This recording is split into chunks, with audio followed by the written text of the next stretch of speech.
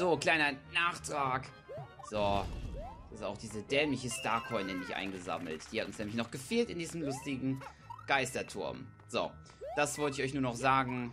Gleich gehen wir wieder los in die lustige...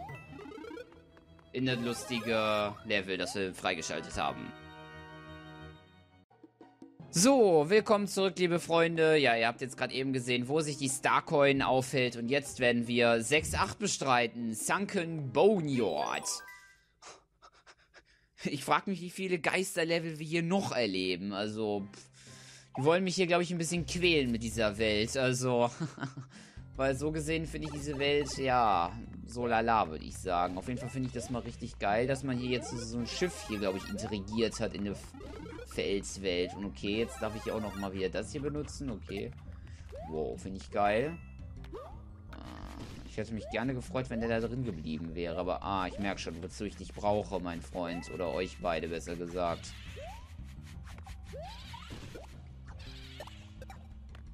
Wow, wow, wow. Äh, toll, das bringt ja nichts. Naja, egal. Hauptsache, wir können jetzt hier durch. ah, okay, interessant. Nicht so. Hm. Na toll, das kann ich auch nicht machen. Naja, ist klar. Ich wollte schon. Ich habe das gesehen, dass man wieder schneller da sein muss. Oh. Na, vielleicht kann ich, kann ich da ja nochmal rein.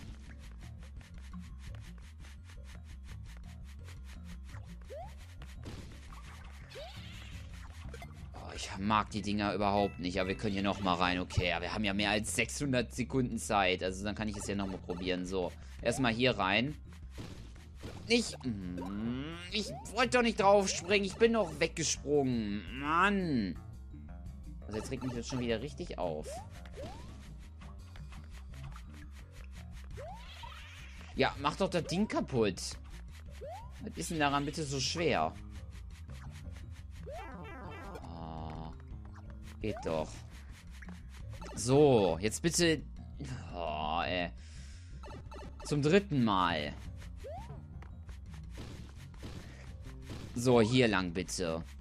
So, mach das schön kaputt und dann geh in dein Verderben. Wunderbar. Warum nicht gleich so? Warum nicht gleich so?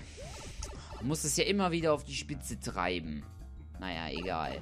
So, alle guten Dinge sind drei, wie man bekanntlich so schön sagt. Ich habe keine Ahnung, wie ich das jetzt schon wieder verloren habe. Und es war mir klar, dass hier nur ein One-Up drin ist, was ich so gut wie gar nicht brauche.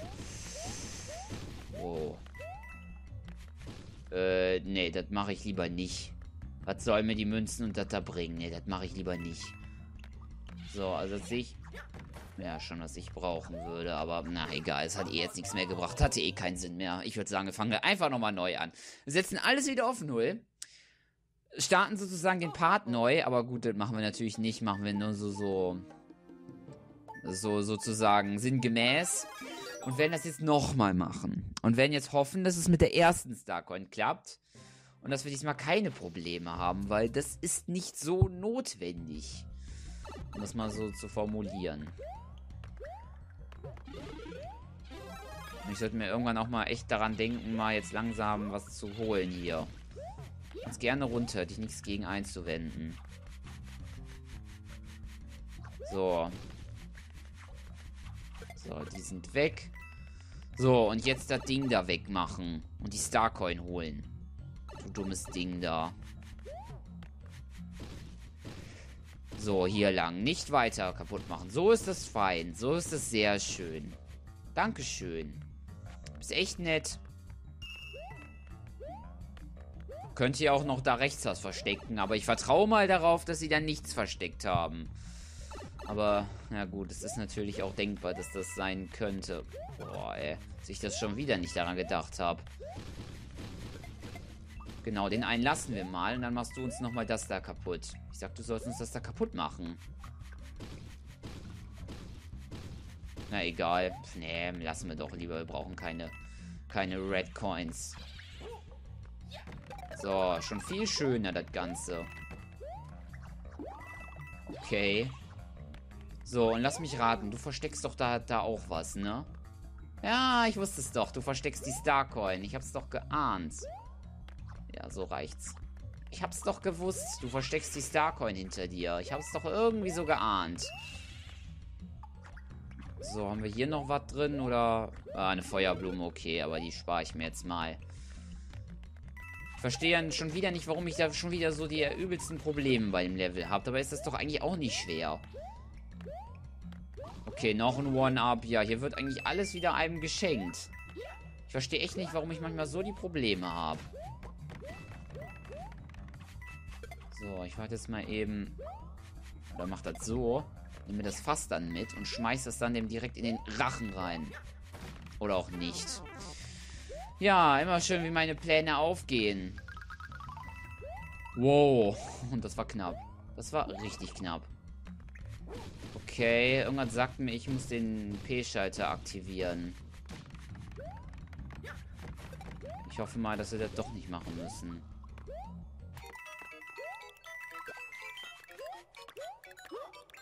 Äh, nee, wir müssen das anders machen. Wir müssen im richtigen Moment das Fass werfen. Und das hat funktioniert. Spitzenmäßig. Das finde ich schön, wenn das so gut klappt. Okay, hier können wir jetzt nochmal, wenn wir schnell sind... Ja, auch nicht so das Problem, dass wir uns da nochmal ein One-Up holen. Ja. Wunderbar. Wunderbar. Wunderbar, wunderbar, wunderbar. So, ich bin ja mal gespannt. Schaffen wir es heute in diesem Part, diese Welt abzuschließen? Weil das sieht mir jetzt schon wieder aus, als wenn wir in eine andere Welt reingehen. Und das sind Bomb-Ops. Bomb-Oms. Ja, es ist eine neue Welt. Die E-Welt. Bombshell Bridge. Okay, das sieht schon mal sehr verheißungsvoll aus. Aber das, wie gesagt, dann, wenn wir hier fertig sind. Jetzt geht es erstmal nach Delusion Castle. Und der Name hört sich nice an. Und das sieht weniger nice aus. Ein Geisterschloss. Ja, äh, ja, das könnte bestimmt sehr lustig werden, aber immerhin kein nerviger... Kein nerviger... Keine nervige Dunkelheit. Ich bin auch sehr vorsichtig, was das Klettern anbelangt. Da gibt es immer mal die Probleme. Äh, wie zum Teufel soll man den Schalter da drücken? Ich traue mich da nicht runter zu... Ah, doch, kann man, okay. Oh, eine Röhre. Na, guck an. Guck mal eine an. Ja, gucke mal einer an. Was haben wir denn hier so? Schon wieder Dunkelheit direkt. Okay. Okay, was haben wir hier Schickes? Ich weiß gerade nicht, was diese ganzen Blöcke hier sollen. Oh, geh doch mal hoch, Mario, hier. Boah, scheint mir nicht der Sinn danach in diesem Level, wenn ich ehrlich bin. Einfach irgendwo wahllos solche platzierten Blöcke. Ja gut, da ist nochmal ein One-Up, aber ja, irgendwie so platzierte Blöcke für One-Ups. Ja gut, von mir aus. Scheint aber keine Starcoin hier zu sein, was ich etwas schade finde. So, da war der Buhu. Und das Ding, okay. Und das war der Tod. Ja, das meine ich damit sich festhalten. Ich denke, es wäre ratsam, sich hier einen Propellerhead zu nehmen. Und da wir ja ein paar im Überfluss haben, naja, nicht so viel, aber wir haben eher Pinguine im Überfluss, aber egal, nehmen wir jetzt hier einen Propellerhead.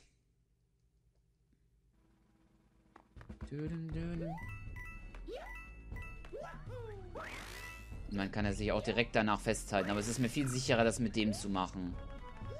Okay, also ich vertraue mal darauf, dass hier jetzt nichts ist. Das ist auch nicht einfach. Oh, was haben wir denn hier Feines? Ein One-Up. Wer hätte das geahnt? Okay, ja gut, das geht eigentlich. Das ist ja auch nicht schwer. Okay. Gefährlich, gefährlich, gefährlich. Würde ich sagen. Okay, ja gut, die ist Ah, ein bisschen trick, trickreich hier. Aber gut. Okay, eine Feuerblume interessiert mich noch nicht. Ja, mit dem Propellerhead ist das Level ziemlich einfach. So, hier irgendwas Verstecktes drin. Nee, nicht, okay. Die reichen mir sogar schon. Ahahaha. Eine blaue Röhre. Wo führt uns denn diese schöne Röhre hin? Zur nächsten Starcoin. Interessant. Ja, gut, das war aber auch, wie gesagt, mal wieder nicht so schwer. Und lass mich raten, da ist ein One-Up drin. Nee, nur Coins, okay. Hätte ich jetzt eigentlich mit gerechnet. Sieht aber vom Design richtig nice aus. Doch, muss man sagen. Sieht eine richtig, eine richtig nice aus. Ja, die gelbe Röhre da oben ist mir auch aufgefallen. Da wäre ich eigentlich auch hingegangen. Aber wir gehen jetzt zu dieser roten. Direkt zur Halbzeit. Okay. Ja, hier wäre wieder eine Feuerblume, die uns aber erstmal nicht interessiert. Ich probiere das jetzt mal ohne. Ich kann mich ja im letzten Moment dann noch retten. Und das war ziemlich angebracht in dieser Situation. Heieiei. Okay, hier kommt auch wieder aufs Timing an. Wow. Gerade so kam er dann da runter. Guck mal, da unten habe ich doch auch was gesehen. Es waren nur Buhus. Okay. Die brauchen mich nicht zu interessieren. Wow. Ach, das hätte ich lieber sein lassen sollen. Naja, egal. Hier ist eine Feuerblume. Das finde ich gut. Okay, und wir sind schon hier beim Boss. Okay, das ist ja schön. Und was soll das hier alles noch? Ah, okay, das ist hier wahrscheinlich noch irgendwo ein Power-Up. Ja, eine Feuerblume gäbe es hier auch noch, aber die brauchen wir nicht. So, wer ist der Boss? Im Tower, in diesem Geisterturm, war es hier ein riesiger Buhu, den wir mit äh, Blöcken bewerfen müssen. Und es sieht mir so aus, als wäre das auch dieses Mal der Fall. Naja, gut, von mir aus. Soll der ruhig kommen, dieser dicke, fette Buhu. Wozu haben wir unsere geilen Lichtblöcke? Aber nicht so wirbeln, Mario. Nicht so blöd wirbeln. Das brauchen wir nicht. Wir haben auch Zeit genug. Also da müssen wir uns keine Hektik machen. Das ist immer so lustig, wenn die auf Marios Kopf fallen. So, dann der hier. Ah, aber es wurde ein bisschen schwieriger gemacht. Jetzt sind hier so Stacheln im Boden. Okay, interessant. Das macht es etwas schwieriger, die ganze Sache hier. Das macht es deutlich schwieriger.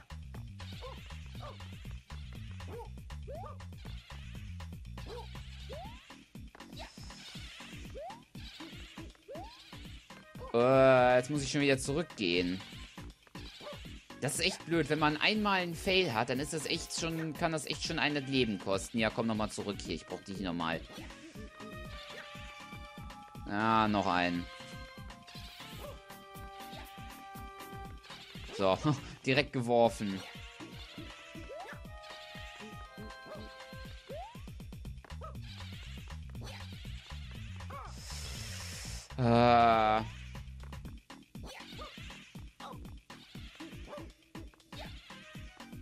Nicht einfach. Und ihr merkt auch wahrscheinlich, dass ich jetzt ein bisschen leiser bin, weil ich mich hier da doch konzentrieren muss.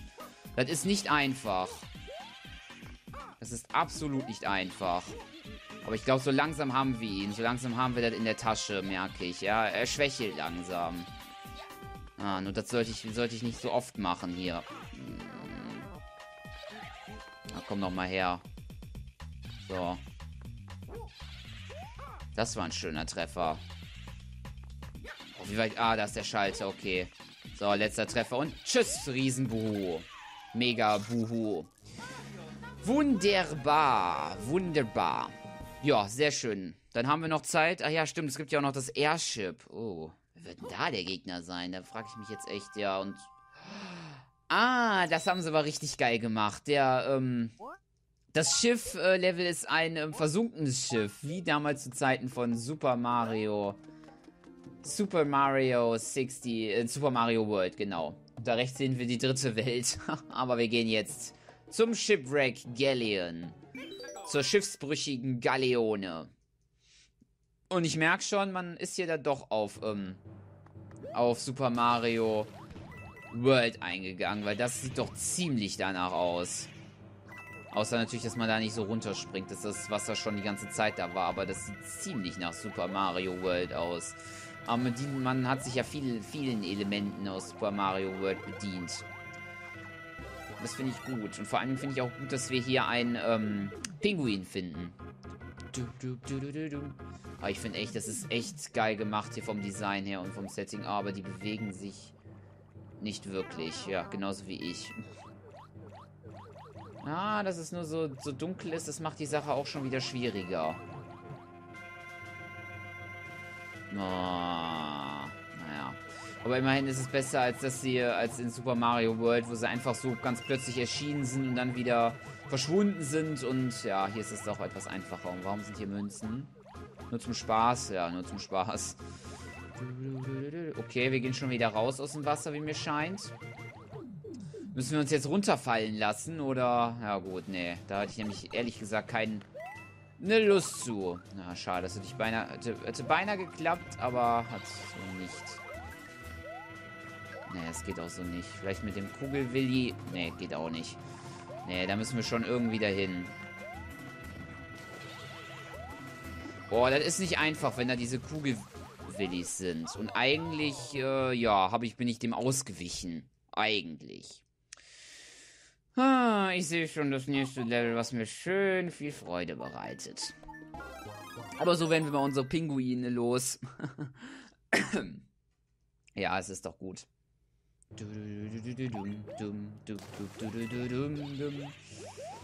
Das große Gruseln im Shipwreck, äh, ja, im schiffsbrüchigen, äh, schiffsbrüchigen Schiff.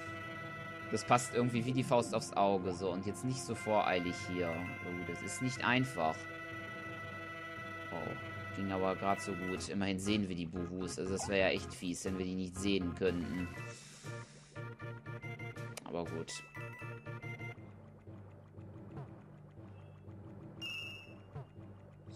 Ja, man sollte das echt konzentriert angehen. Dann ist das eigentlich mal wieder kein Problem. eigentlich. So, und ich denke mal, wenn ich jetzt auch das einfrieren kann, dann müsste ich auch da hochkommen. So, dann kann ich nämlich jetzt schön hier einen Wandsprung machen. Dann ist das alles kein Problem.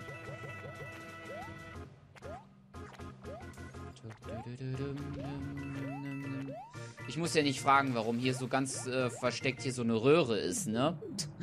muss ich ja nicht fragen. okay, Schnelligkeit ist wohl gefragt. Ja, die ist gefragt. Aber, ne, das war jetzt, jetzt nicht so wirklich die große Herausforderung. Wenn ich ehrlich bin. Gut, das sage ich eigentlich oft, ne? Das stimmt aber leider irgendwie, also... Ich finde jetzt nicht, dass die Starcoins wirklich die allzu große Herausforderung darstellen. Also da sind die doch in vielen Teilen des Originals doch deutlich schwieriger als hier. Ja, soll mir das Angst machen? Hm, mal, mal sehen. Das, das, sieht auf jeden Fall nicht so wirklich verheißungsvoll aus, diese riesen ganzen Buhus. Nein, nein, ihr kommt nicht auf einmal. Ihr werdet nicht auf einmal ganz plötzlich erscheinen. Das verbiete ich euch. Okay, bisher sieht es nicht danach aus. Oh. Okay, noch ein Pinguin interessiert mich nicht. Ich möchte nur die Starcoin. Lass mich raten, die ist hier. Ach, was habe ich gesagt?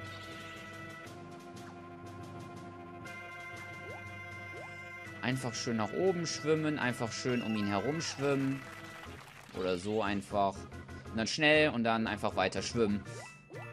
So, du kriegst eine rein mit dem Eiswürfel. und dann, ja, sind wir auch schon hier weiter. Und das ist auch schon der Boss. Der komische Iggy. Nee, oder ist das Larry? Ich weiß es gar nicht. Ich, ich merke mir nie die Namen. Aber ich muss ja nicht sagen, dass der eine richtige Flasche ist. Also von allen Gegnern, die hier in diesem Schiff sind, ist er der größte Schwächling von allen. Und ich glaube, dann könnten wir auch noch das erste Welt der nächsten Welt machen. Genau. Ja, Larry oder Iggy oder wie er auch heißt. Oder keine Ahnung was. Ne, ich müsste, müsste Iggy sein, ne? Hatten wir die nicht schon? Hm, egal. Auf jeden Fall ein richtiger Trottel, wie alle anderen Cooperlinge auch. Aber ich finde das echt geil gemacht, dass die in den Schiffen sind und dass man da dann halt in den Schlössern andere Bosse hat. So, wir haben alles in Pumpkin Boneyard. Und das sieht nach Welt 7 aus. Ja, aber die werden wir ein anderes Mal machen. Jetzt gehen wir noch zu Welt, äh, zu Level 1 der, der, der ne kleinen Nebenwelt, die da heißt Boomshell Bridge, okay? Wenn wir hier viele, man, man trifft hier anscheinend auch viele Bonbons. Oh, und die Musik. Die hat's, die hat's drauf, die Musik. Du, du, du, du. Es ist doch ähm, Yoshis äh, Super Mario World, ne? Du, du, du, du, Ach, die Dinger jetzt, wo es so runterfährt, okay. Ah, könnte aber schwierig werden. Ja, und es wird auch schwierig.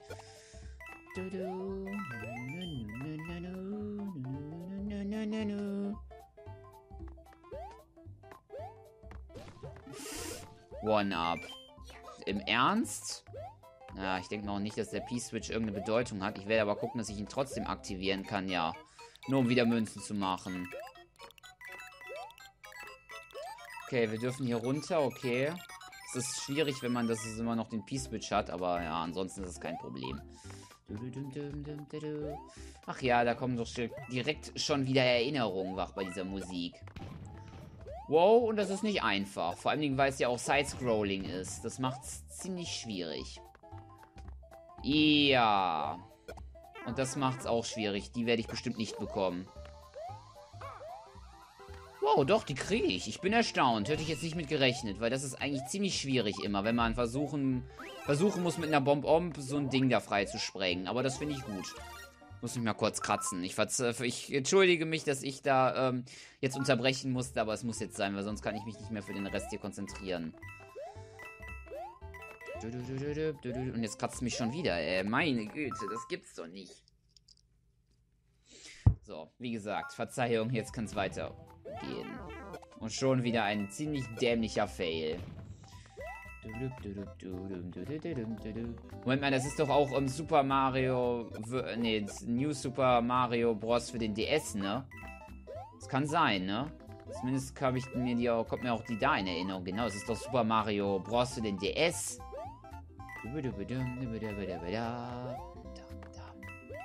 Und ich glaube auch, die spielt im Wii-Teil, aber da bin ich mir jetzt nicht ganz sicher. Auf jeden Fall ist die im DS-Teil vorhanden. Da kann ich mich definitiv erinnern dran. Ja, und das ist jetzt auch nicht schwer, die letzte Starcoin zu holen. Ja, das passt. Also das Level sieht schwerer, wirkt schwerer, als es in Wahrheit ist. Das muss ich ganz ehrlich sagen. Bumm. Und du wirst uns auch nicht treffen, du blöde Bombe. Ja, wunderbar. Ich würde sagen, wir machen noch ein Level, ne? Ja, eins machen wir noch. Das passt doch super. Das hat super reingepasst hier. Na gut, wir hatten zwar noch am Anfang äh, das mit der Starcoin der Geisterwelt, aber komm, ein Level können wir noch. Eins geht noch. Und wenn wir uns weiter schön mit diesen Bomben rumärgern dürfen. Fallout, Foodbridge, okay. Ach ja, ne, jetzt werfen auch schon Hammerbrüder mit Bomb Bomboms, okay. Kreative Idee. Muss ich mal so sagen.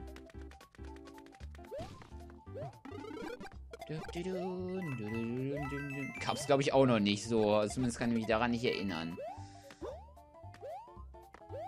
Wow. Ähm, okay, da kommen andere Bonbons noch. Okay, das ist gut, weil ich brauche so einen jetzt, um den da runter zu schmeißen. Ja, so natürlich nicht. Ich meine, kommt da noch einer. Ich muss den von der anderen Seite rüber runterschmeißen.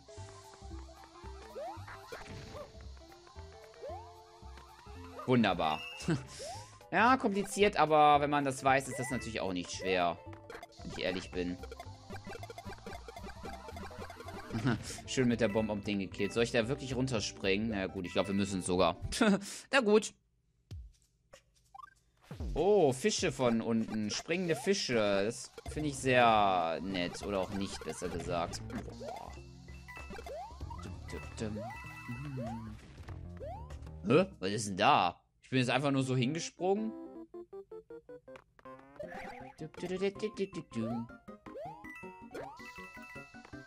Hier könnte man sich auch schön einen One-Up holen, aber sonst ist hier wohl nichts. Ja, gut. Für ein One-Up, aber mehr auch nicht. Ja, die Röhre habe ich da nämlich gesehen. Boah. Die Fische machen mir Angst. Die machen mir richtige Angst. Du, du, du, ja, erst Halbzeit. Ich hatte aber schon geachtet, so, so, hä? Sind bei der Halbzeit und ja, nur erst eine Starcoin. Aber bisher finde ich das Level jetzt auch nicht so schwer. Oh, und das war, das war Reflex. Das war richtig Reflex, muss ich sagen. Aber es ist jetzt schon das zweite Mal, dass man so einen Bonbon braucht, um die, ähm, zu bekommen, die Starcoin. naja, gut. Kann man die Idee ruhig auch zweimal verwenden, habe ich eigentlich nichts gegen. So, was haben wir hier? Nur Münzen? Ja, scheint so. Okay, von mir aus. ich finde aber echt die Idee geil mit diesen ähm, Bomboms. Okay, das ist nix, okay. Wow, wow, wow. Okay, wir haben die dritte Starcoin nicht. Dann würde ich sagen, ich kann mir auch schon denken, wo die ist. Wir sehen uns dann gleich bei der Starcoin. Aber erst nochmal gucken, eben wie das jetzt so aussieht, was wir nur noch sehen hier. Ja, gut. Kein besonderes Level. Gut, dann, ja, bis gleich noch bei der Starcoin.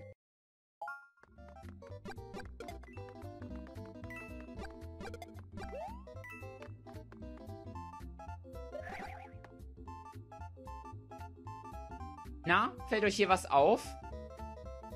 Richtig, das ist eine Röhre. Die sieht man ja auch so unbedingt. Naja. Hier hätten wir Starcoin Number 3. Okay. Damit würde ich sagen, ich hoffe, es hat euch mal wieder gefallen, der heutige Part. Endlich haben wir diese blöde ähm, Geisterwelt abgeschlossen. Im nächsten Part werden wir uns die, ja, diese Bonuswelt hier ansehen, in die E-Welt mit den ganzen Bomboms. Und vielleicht werden wir da schon zur Welt 7 gehen. Und was wir schon von dieser Welt 7 gesehen haben, ist, dass sie richtig nice ist und geil. Also, ich hoffe, es hat euch gefallen und ich hoffe, ihr freut euch auf den nächsten Part. Also, bis dann und tschüss, euer Jake125.